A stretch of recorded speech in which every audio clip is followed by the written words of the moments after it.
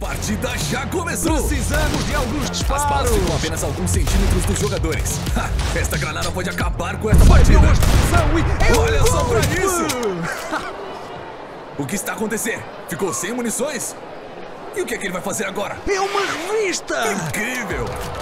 E nós temos o vencedor!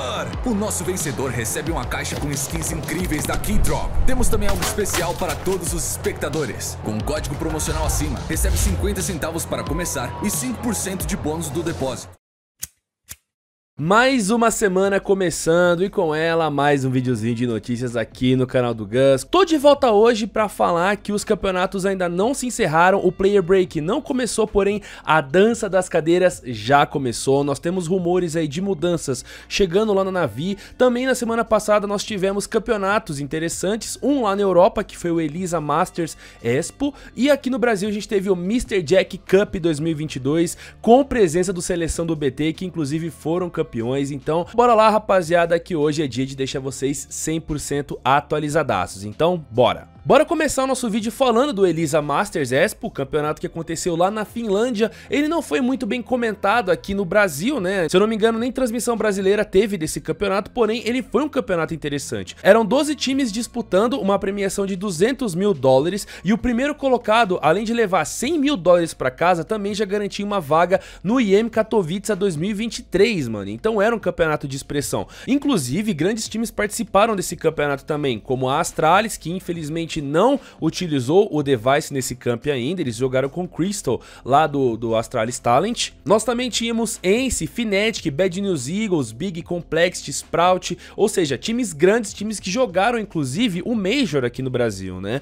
E bom, foi um campeonato aí extenso, teve ali uma fase de grupos bem grande, inclusive a Astralis até deu um susto na gente porque ela quase não passou dessa fase de grupos aqui, ela tomou um 16 a 1 para um time chamado 500, porém ela conseguiu dar a volta por cima e passou em terceiro no grupo B. Quem passou em primeiro foi a Fnatic, que teve aí quatro vitórias e apenas uma derrota. E esse time chamado 500, né, um time aí desconhecido até então. Porém, esse time é a S-Find, né, um time de búlgaros ali que joga aí campeonatos Tier 2 na Europa, que é inclusive meio interessante. Então, apenas contextualizando aí para vocês quem são esses caras, né? Quem informou para mim sobre o time da 500 foi o meu querido inscrito Rafael Correia lá no Twitter. Brigadão aí por me informar, meu querido. Já no grupo A, os times que passaram para os playoffs foram a Sprout, a Ence e a Big. Sprout e Ence passaram aí com 4 vitórias e uma derrota, enquanto a Big passou também com 3 vitórias e 2 derrotas. Já nos playoffs, né, os primeiros de cada grupo foram direto para a semifinal, enquanto os outros dois de cada grupo jogaram as quartas de final.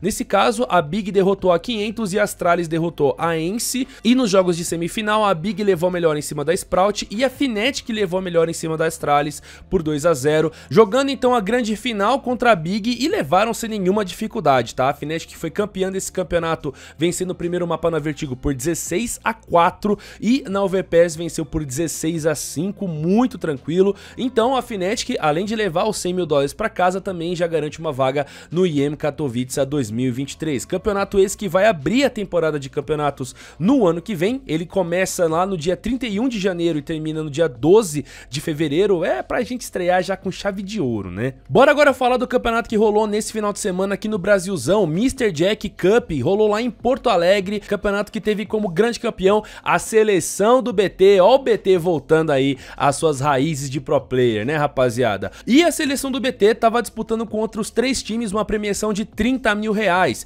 Esses times eram a Hell Esports, a Underdogs e a Izanagi Esports. E a grande final desse campeonato rolou entre a seleção do BT e a Underdogs, aonde, como eu já falei pra vocês, a seleção do BT levou melhor por dois mapinhas a um. Primeiro mapa disputado na Inferno, a seleção do BT levou por 16 a 14. Na Nank, a Underdogs devolveu 16 a 14 e na Mirage, a seleção do BT levou sem nenhuma preocupação por 16 a 2 o campeonato. Com a vitória, eles levam pra casa aí 21 mil reais em dinheiro. Meus parabéns aí ao BT e a sua seleção por essa vitória contra tudo e todos, né? Os caras que vieram lá do Open Qualify, eles tiveram que batalhar pra conseguir chegar nessa final final em Lanzinha, ainda conseguem uma vitória com bastante expressão na Mirage. A torcida tava contra os caras, assim, quem assistiu viu, né? Quando eles entraram no palco teve vaiada, quando eles perderam era gritaria, mas a seleção do BT se sobressaiu a isso tudo e o BT volta a vencer um campeonato em LAN depois de seis anos, mano. Então aí, ó, o cara voltando a ser pro player e ainda com muito estilo aí, parabéns novamente, rapaziada. Inclusive o BT já informou aí, vai mandar super bem, vai doar a parte dele da premiação para caridade, o que é muito, muito bacana aí. O BT, mais uma vez, mostrando que é um cara muito da hora que a gente tem no nosso cenário. Campeonatos finalizados, bora agora falar da dança das cadeiras que já começou extraoficialmente, né? Porque são rumores que estão chegando aí pra gente, porém vem de fontes confiáveis, então vale a pena eu compartilhar aqui com vocês, né? E a gente já começa nada mais nada menos com a Navi fazendo mudanças na equipe, exatamente. Como sugere o Overdrive um leaker que já é muito famoso na comunidade, ele sempre costuma acertar quando ele fala ali de mudanças que vão acontecer na região CIS, trouxe pra gente a informação de que a Navi quer Hobbit da Cloud9 no lugar do Sandayang, do SDY, mano. De acordo com os rumores, o Sandayang nem está mais fazendo parte do time da Navi,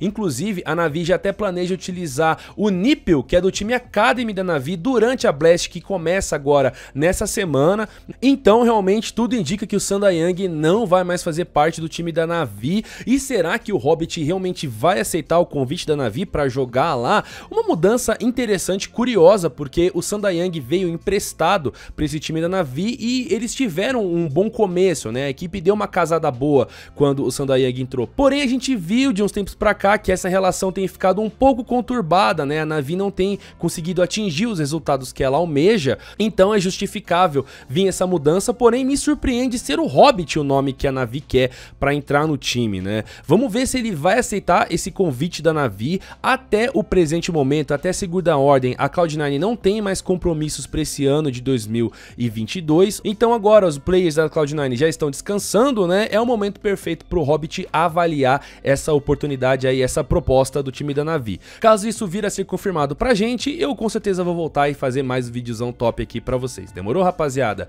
E meus amigos, não esqueçam que tá rolando novembro Black lá na Nest Store. É promoção de Black Friday o mês inteiro de novembro, mano. A gente tá entrando aí basicamente na última semana de novembro, então tá acabando o tempo para você utilizar o cupom do Gus e garantir o dobro de desconto na sua compra. E depois de fazer sua comprinha, não esquece de mandar pra gente lá no Twitter para concorrer ao sorteio mensal exclusivo dos clientes. Igual o que foi lá na Nest e lançou simplesmente uma Talon no cupom do Gus. Tem a rubra ainda, mano. Mandou demais, meu parceiro. Brigadão pelo teu apoio. E o Genison que foi lá e comprou várias skins, comprou Classic Knife linda no meu cupom, AK-47 Imperatriz, os Pizinho M4, inventário ficando top demais. Brigadão, teu apoio também, meu irmão. Faça como eles, rapaziada, a cal tá dada, link da net tá sempre aí na descrição pra vocês. A melhor loja de skins do Brasil. E no mais, é isso aqui pro vídeo de hoje, meus amigos. Espero que vocês tenham gostado do conteúdo. Se gostaram, deixa aquele likezão pra mim aqui embaixo. Se inscreva no canal caso você ainda não seja inscrito. Compartilhe o vídeo com os amigos nas redes sociais. É muito importante pro crescimento do canal. A gente então se vê no próximo vídeo. É nóis, rapaziada. Valeu, falou e fui!